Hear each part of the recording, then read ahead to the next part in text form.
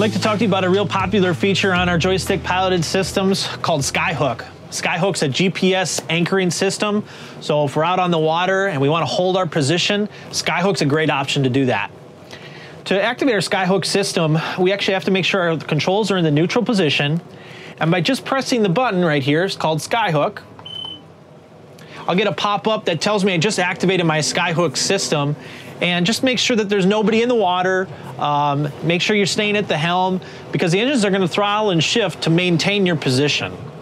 So Skyhook's kind of a useful tool. Maybe if you're waiting for a fuel dock, maybe if you're waiting for a bridge to open up, a dock space, a trailer, something like that. You just want to hold your position. Skyhook's a great option to do that.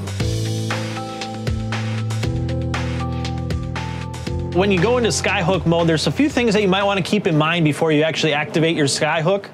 Um, one of them being if you're in any kind of wind or current, things like that, positioning your boat in a good position to hold there uh, is always a good idea. So if the wind's coming at you, you always want to point the nose of the boat towards the wind. You want to try to avoid any kind of crosswinds, things that might push your boat off your position easier. So whatever makes the boat easiest to maintain the position. If you want to know more about these features, check out your owner's manual or take a look at us online at mercurymarine.com for more of the product videos.